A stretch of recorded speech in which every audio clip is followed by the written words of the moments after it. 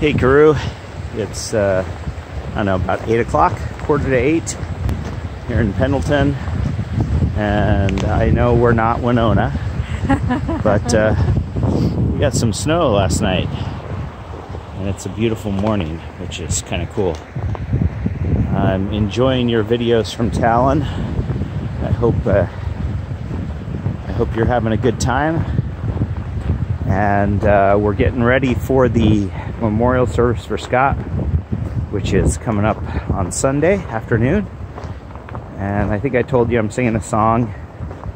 They're having it at the convention center because it's the only place in town big enough.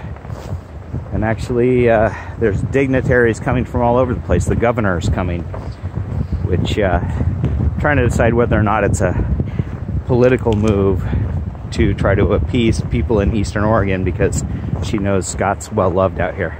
But regardless, it'll be uh, it'll be nice to do. I've been spending a lot of time with Eric and Scott O'Daniel, and uh, uh, spent an evening with Kimbra as well, and uh, things are going well.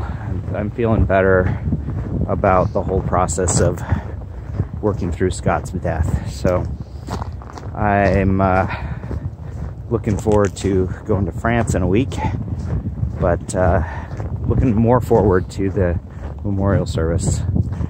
So that's my story, and I'm sticking to it. I got your your message this morning, and I forwarded that video to Isaac. Um, I guess that's it.